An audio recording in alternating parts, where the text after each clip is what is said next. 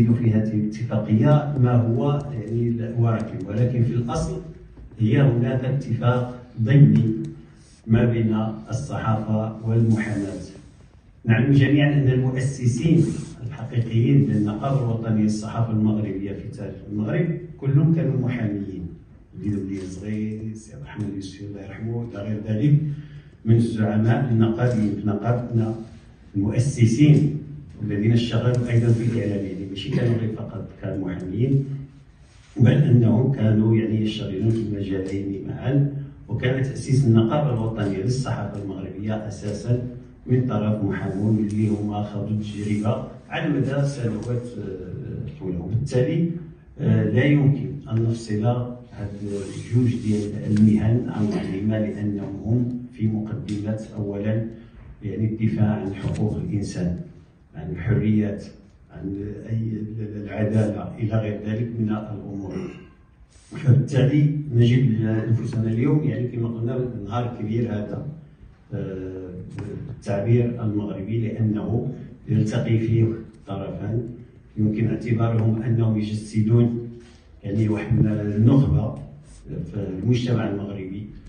كذلك انه واحد الطرف اللي باقي عنده يؤمن بمبادئ حقوق الإنسان والدفاع عن الكرامة والحقوق إلى غير ذلك نتعاون في مجموعة من القضايا.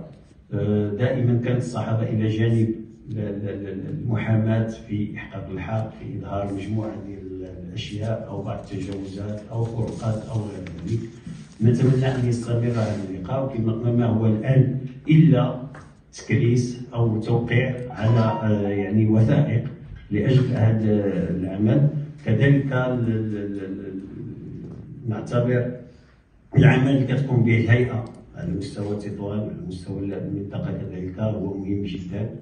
وتوفيرهم لهذا الفضاء الجميل سواء كإدارة لهم أو كقاعة كبرى. كذلك يعني يعتبر أنه من الأشياء الكبيرة اللي كنهنيو بها. وكنتمنوا أن حتى حنا نوصلوا إن شاء الله في عندنا قريب أنها تكون عندنا دار الصحافة في تطوان وهذا مطلب نحن نعالجه مع السلطات ومع الجهات المنتخبة إلى غير ذلك.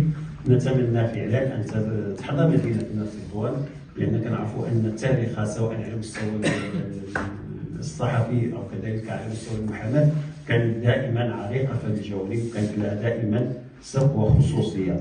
نتمنى آه، صراحة أن يستمر تنسيق العمل آه، الهيئتين لأن في الأول في البدء والمنتهى هي آه، توجه واحد. يعني الأشياء مشتركة كثيرة اللي كتجمعنا.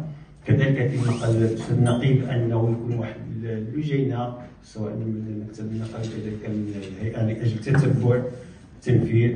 وحل بعض الإشكالات أو الخلافات التي يمكن نبغي ولا خلافات لا حتى ولكن على كل حال لأجل طرح هذه الأمور لأنك تدخل في إطار كذلك والاتفاقيه من خلال المراجعه وكنشكر الاخ عماد من جهتنا وكذلك الإخوان اللي اشتغلوا في الجهة الأخرى.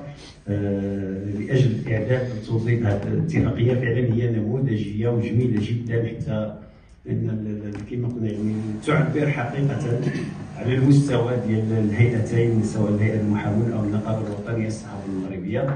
فهي يعني سواء من التعابير سواء من الفصول التقسيم الشكليا ودميا كنلقاو أنها في مستوى جيد وقد طلع عليها ارسلنا نسخة من المكتب التنفيذي للنقابة الوطنية للصحافه المغربية. وفعلا آه، ربما سيتم اعتمادها في اتفاقيات أخرى على المستوى الوطني. شكرا لكم على استضافتكم.